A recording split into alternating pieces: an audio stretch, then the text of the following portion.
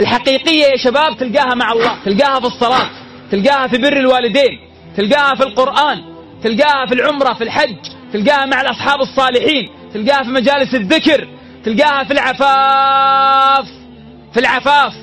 ترى اللي يحب يا شباب اللي يحب ترى متعذب اللي يحب ومتعلق في علاقات حرام معاكسات ترى مسكين. والله إنه متعذب لا توقع إنه مرتاح ترى متعذب.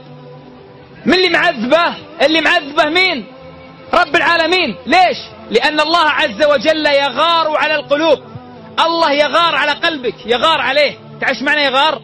الله يغار على قلبك. ما يريد قلبك يتعلق إلا به.